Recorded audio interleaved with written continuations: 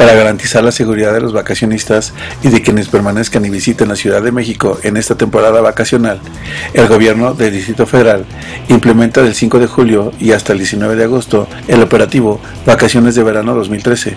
Informaron en conferencia de prensa el secretario de Gobierno Héctor Serrano, de Seguridad Pública Jesús Rodríguez Almeida, de Protección Civil Fausto Lugo García y el Procurador de Justicia Rodolfo Ríos Garza.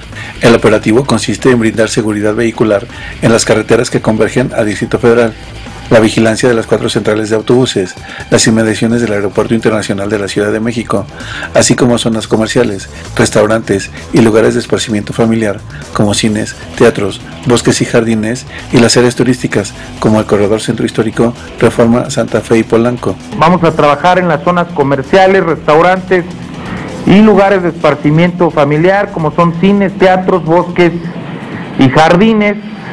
También estaremos trabajando en el corredor turístico Centro Histórico, Reforma, Santa Fe, Polanco y con la policía eh, ribereña en Xochimilco para quienes visitan esas áreas.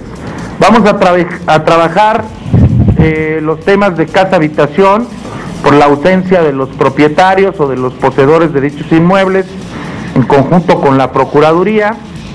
El tema de la vía pública y transporte público. Para las personas que salgan de vacaciones, Lugo García recomendó cerrar las llaves de paso del gas y apagar los pilotos de la estufa y boiler, desconectar aparatos electrónicos como televisiones, radios, lavadoras, licuadoras, así como dejar el refrigerador en el mínimo de frío para ahorrar energía y cerciorarse de que las llaves del agua estén bien cerradas para evitar inundaciones o desperdicio del vital líquido.